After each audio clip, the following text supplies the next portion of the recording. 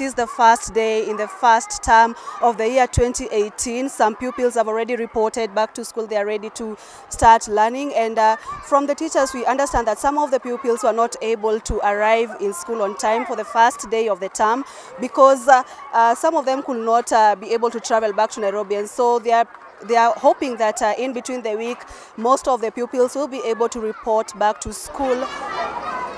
Teachers in the lower primary level at this school are looking forward to implementation of the new curriculum.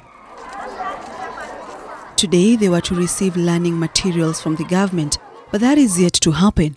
They all underwent training for two days and they believe the 2633 system of education will better equip pupils compared to the over 30 year old 844 system. Whatever the child achieves at every particular uh, stage, the, the, it is recorded. The class teacher will be recording, and this will it's a continuous. The file will go on up to the time they're finishing the lower grade.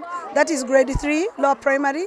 Still have a file. The same file will go to grade four, which is the upper primary. Then the same file will go to uh, up to the lower junior secondary school.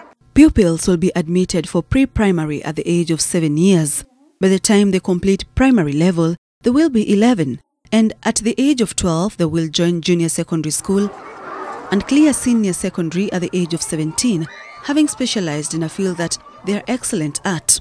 The new curriculum will only affect pupils in class 3 and below. We are having the 844 classes will continue, KCP will continue up to 2022. The current class 4 are going to, to be the last group to sit for the KCPE. A majority of teachers in primary schools are of the idea that subjects that have been scraped off the system such as music, arts and craft, home science and woodwork should be included in the new curriculum. Tomorrow after a meeting attended by Education CS Fred Matiang'i and other stakeholders, the 28,000 primary schools will get the way forward with regards to the new curriculum. Bye-bye. Sharon Barang'a, NTV.